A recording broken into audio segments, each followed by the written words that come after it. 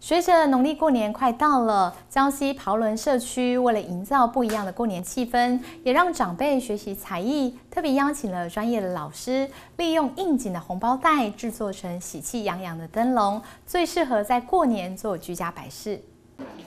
原本代表福气吉祥的红包，不但讨喜，更是人见人爱。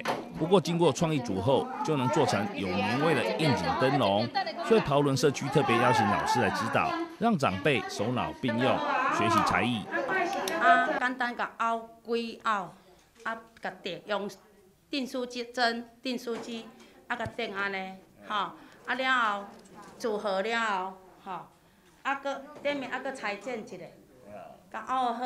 啊，就变一个红灯笼，啊，因为过年啊嘛，嘿，长辈做一个灯笼，好过年。啊，咱今年就用咱个红红包袋吼来做这个灯笼，吼，互互咱这时代会当安尼哦，有用头脑，啊来了，互咱手搁较灵活，吼，会当用劲啊，早早转去厝的吼，大家较留伫厝的较留伫一个啊。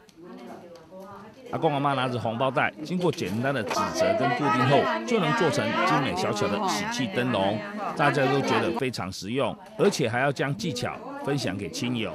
来以前哈不知道这个红包袋哈，啊就是现在有老师的指导，做起来喜气洋洋，哈，诶新年快乐，喜气洋洋。我每向老师拢会甲阮教，嘿，啊所以做做这吼，大家拢是。来遮来遮，大家互相安尼运动安尼互动就好诶。哦，阮遐社区老师是偌好咧，拢敢教教阮这手工艺哦，啊，佮甲大家分享一下安尼。嘿嘿，啊，厝边啊，大家开讲啦吼。嘿啊，叫大家拢甲红包袋啊摕来做。嘿，对对对对，讲我你看阮做起来雕起来遮尔啊水。做红包灯笼，哦啊，快过年大家喜气洋洋。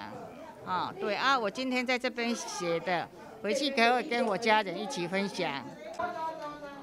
对红包变灯笼有兴趣的民众，可上脸书我们的袍伦社区粉丝专业，边看影片边学习。宜兰新闻记者张丽玲采访报道。